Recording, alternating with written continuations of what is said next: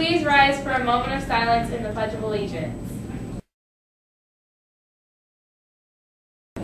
I pledge allegiance to the flag of the United States of America and to the republic for which it stands, one nation, under God, indivisible, with liberty and justice for all.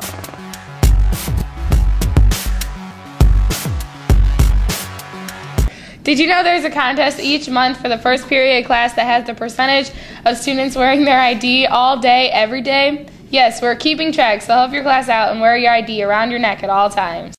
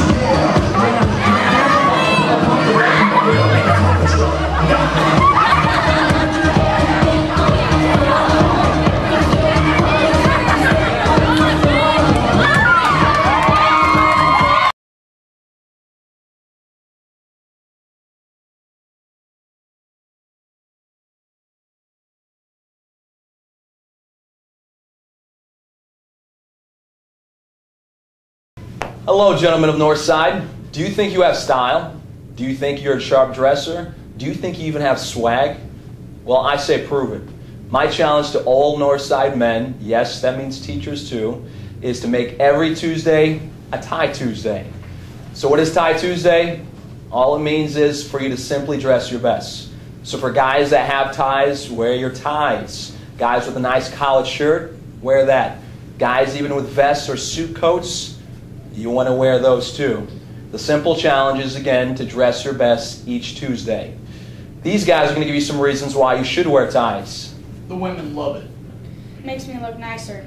Makes me feel like a gentleman. I look better. Sexy. I look cool. Makes me feel smart. Makes me feel stronger. There's even a study done by a doctor named A. Husky that states that dressing well can even keep you from losing brain cells. Google it if you don't believe me. Have a great day, Huskies.